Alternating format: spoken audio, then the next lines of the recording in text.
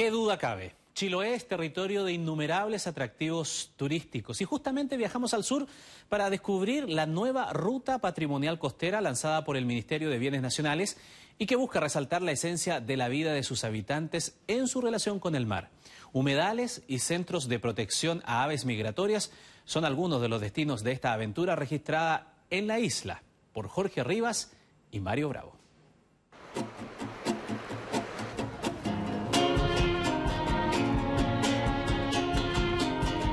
El paisaje ha cambiado mucho, la forma de vida del chilote ha cambiado mucho. No sé si para bien o para mal. tratar de generar esta ruta tiene como objeto el, poner en valor estos sitios de, gran importancia para la biodiversidad y gran importancia para el desarrollo de las costumbres del chilote.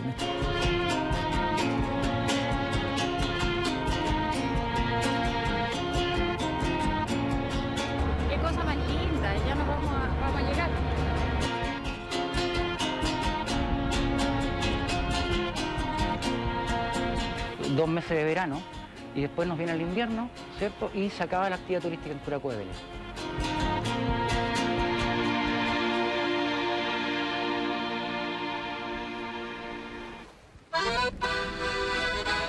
Antiguamente habían cuatro y nosotros pues restauramos uno. Esta es la laguna Hueico y el molino capta el agua de esa laguna. Yo, no sé si en forma egoísta, no, yo quería que mis nietos algún día vieran cómo era un molino. por eso yo quería que se rescatara eso.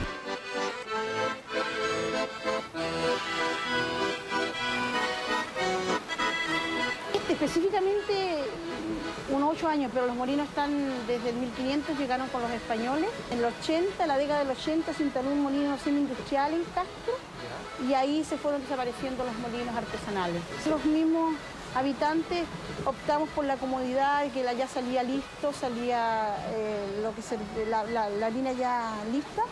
Este se usa de vez en cuando cuando los vecinos o alguien quiere moler o hacer harina tostada.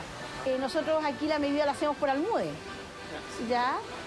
A la antigua. Eh, aquí van, entran cinco almudes de trigo. ¿Eso cuánto en kilo? Ay, sí que no sé, porque nosotros no, no, manejamos más el almude en este sentido que en kilo.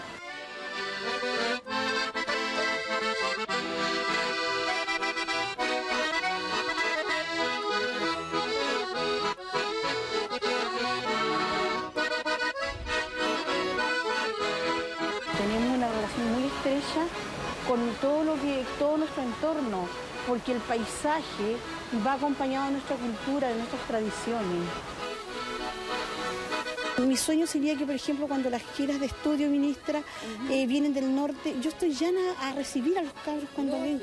Bueno, yo le cuento que nosotros vamos a inaugurar hoy día una ruta de los humedales que espero que nos acompañe. Sí, sí, en Curaco. Y que además, en Curaco va a ser, y que además contempla toda esta, la, relación cultural que existe entre el agua y la, vida de la gente acá en Chiloé. Entonces, eh, en parte de esta ruta va a estar su molino.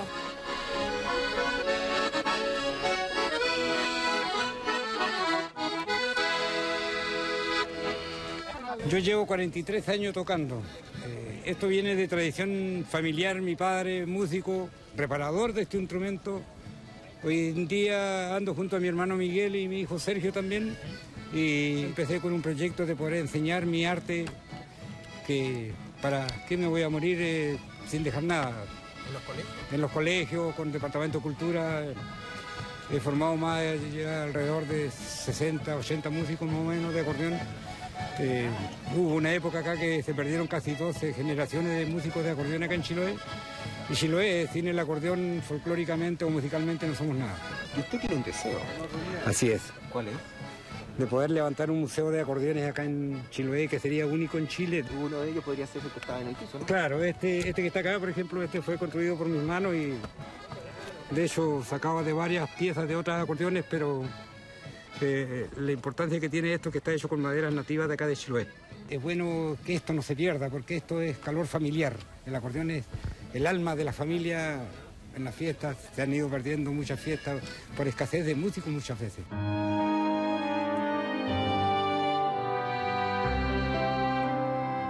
¿Qué le parece lo que hay acá al fondo, la protección de este humedal? Em, yo creo que esto se tendría que haber hecho, digámoslo, antes que entren las salmoneras. O sea, no sin perjudicar, sin menoscabar en nada, pero eh, esto antes que entren las salmoneras era otra cosa. Esto, Era mucho mejor que ahora. Claro, antes había muchos pajarillos, distintas migraciones de aves que llegaban acá hoy día. pasaron, pasó una época que casi no se veían. Ningún pájaro en, la- en las costas de Chiloé, así que hoy día se está volviendo a esto y A rescatar. ojalá a rescatar y ojalá que bueno con este proyecto que aparece hoy día que ha costado mucho trabajo y sacrificio de muchas personas que son horas de trabajo que resucite el legal eh, fue- vuelva a hacer eh, lo que fue en, en- en su, en su época y todo tanto los pájaros como la gente convivieron en el mismo espacio O sea, hay un problema de desarrollo versus patrimonio. acá, ¿no? exactamente sí hay hay más o menos las dos cosas Iniciamos el trabajo con la Fundación SECPAN, que ha hecho, son gente que son de acá de Chiloé y que conocen la realidad y han hecho un trabajo realmente extraordinario, porque a través de esta ruta vamos a poder dar a conocer no solamente a, a Chile, sino que al mundo la importancia que tiene Chiloé en el marco de la red hemisférica de humedales. El flamenco viene más bien de la Patagonia Argentina. Si esto se acaba, no es que se van a ir a otra playa así como así, porque no todas tienen esta, esta calidad eh, de sedimento por el cual se pueden alimentar. Ahora estamos un poco preocupados porque aquí en Putemún están llegando algo menos, ya lamentablemente está la mitad de la población. No lo sabemos, quizás hay algunos factores de presión que hay acá, porque una vez que nos gusta mucho de la presencia humana, se, muy asustadizo. El Castro se está expandiendo y gran parte del- del- de la expansión que se está haciendo se está haciendo hacia el humedal. Debemos mirar como país la posibilidad de que el desarrollo no vaya en contra de la sustentabilidad ni de la mantención de las bellezas, ya sea paisajística o de las riquezas en biodiversidad. Usualmente Curaco Vélez se basa, ¿cierto? Eh, tanto eh, independientemente de su folclore, su artesanía, ya su tradición, Curaco Vélez se caracteriza por su arquitectura. ¿Cuántos años tiene? Estas casas tienen por lo menos mínimo son 100 años. 100 años. 100 años. Son casas patrimoniales. Esos detalles de arriba son todos eh, es típico, hecho a mano, patrimonial, cultural, propio del Curaco de Vélez. ¿Teje constantemente desde cuándo? Uy, mientras duermo descanso. Ah, sí, durante el día teje todo el rato. ¿Desde qué edad? 16 años, pues tenía tejiendo y ahora tengo 65. Si usted hila también. Sí, pues lo hilo, lo tiño y lo tejo. Hace todo el proceso. Sí. La lana sí la compro. Lo traemos de una isla. Bueno, ahí en el verano se vende esto. Hay que prepararnos más ahora. Está tejiendo para el verano. Y este año encontré que muy poco turista. Vale generar una. Era ruta. pura familia Miranda. Miranda. ¿Y vende para afuera? ¿Me refiero a tercero o lo, todo lo vende acá? Que ojalá hubiera para entregar. pues. No hay entrega. Eso es lo que más... En el invierno sobre todo, que uno tuviera donde entregar. Porque tiene tiempo Pero para tejer, ¿no? Sí, Y no tiene posibilidad de entrega. no, pues no hay entrega. ¿Le gustaría que alguien viniese a, a negociar Sí, con po. usted? Sí, pues eso es lo que más me gustaría. Independientemente que Chile sigue siendo turístico, Sí. Curaco no, Curaco está, no es... no está dentro de la no ruta. está dentro de esa ruta. Entonces, esa es una importancias que tiene la ruta, ¿cierto? Que se está inaugurando hoy día, que es la ruta de estas aves migratorias, playeras, que tiene una importancia de desarrollo local de gran, digamos, de gran importancia si se toma y se logra afinar ciertos detalles ¿ya? y complementar cómo se sueña esta ruta patrimonial. Este es un abrigo todo natural. ¿Ya cuánto lo Eh, tiene vale eh, 20 mil pesos. Mire. acá? Un elefante de lana. Uf. A ver, ¿cómo fue eso? ¿A dónde se le ocurrió eso?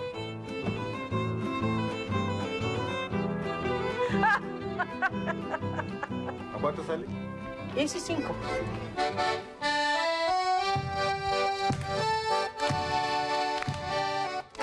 Nos encontramos en el pueblo de San Juan.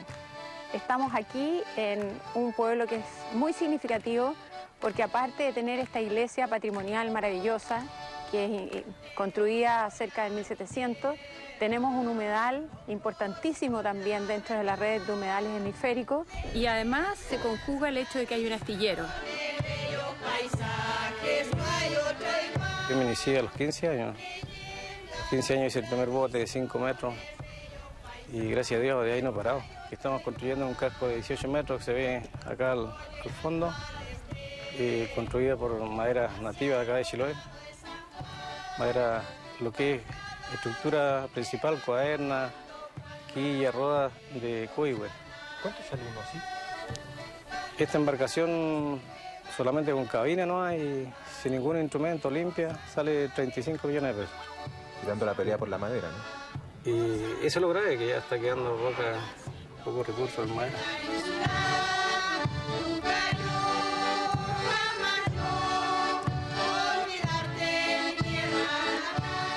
Nos encontramos en el humedal de Caulín, en la, al noreste de la comuna de Ancud. Eh, en este momento eh, se encuentra la marea bajando y todo lo que podemos encontrar en nuestra espalda ¿cierto? es una planicie intermareal eh, que fluctúa cada seis horas y como el sitio es bastante bajo queda descubierta una gran superficie. La ave más llamativa también en este tiempo es el flamenco chileno, que utilizan algunos humedales precisos de la provincia de Chiloé su abundancia no es como superior a 2.000 individuos y nosotros podemos, mira, acá hay algo interesante sobre lo mismo, acá se ven una especie como de, como un círculo de arena. Lo que pasa es que cuando vayamos abajo vamos a ver que el flamenco comienza con las patas, ¿cierto? y cuando esto está con bastante agua, a levantar, ¿cierto? Y a dar círculos. Y ahí con la cabeza comienza a filtrar el agua rápidamente para obtener los eh, microorganismos que obtiene de la arena.